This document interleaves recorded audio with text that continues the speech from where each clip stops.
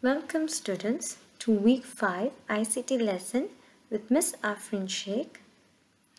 Today we are going to revise word processing that we have learned in the previous term. We need to revise these uh, topics so that we can continue them in the next lesson. So we will begin with the font size. To change the font size, we need to first click on the home tab click on the font size and then I want a big size. So I'll select 36 if you see here the cursor is bigger. Let's type.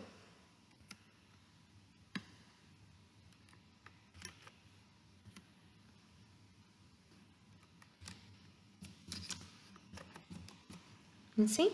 This is a bigger size now let's type in a small size. Again go to the Home tab, select the font size and select a small size.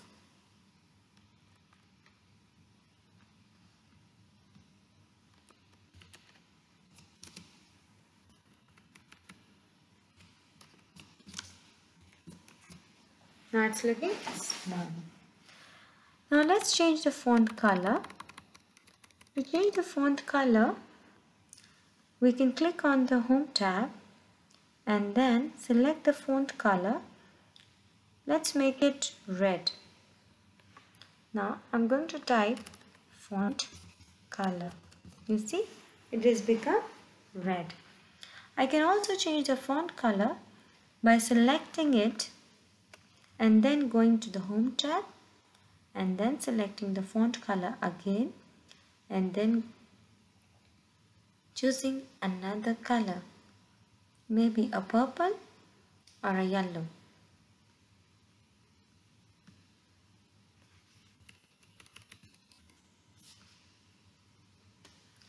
Let's change the page color. I don't want the page color to be white. So let's make it yellow. To change the page color you need to click on the design tab. At the left, at the rightmost corner, you have the page color here. Click on it and then select the yellow color. It's too bright for my eyes. So I select color from more colors option and I select the one which is the lightest. You see? Now this is a light yellow. I want some borders in my page. So I click on the design tab again. At the rightmost corner, there's page borders option. Click on the page borders. A box will be open. At the bottom, there's art and at the bottom of art, there is a small rectangle box.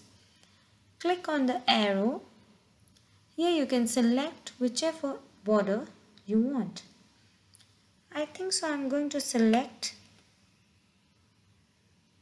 something which looks good on the yellow page color. Let's select the apples. You can increase or decrease the size of the border by clicking inside the box for width. Now I can just click on the OK button and the borders are here in on the page. Now let us insert some pictures.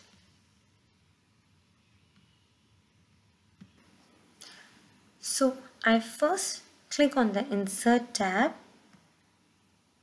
and then on the pictures command. I have already downloaded some pictures on my computer. So I'm going to select a mouse. You see, it's here. Now, let's insert shapes.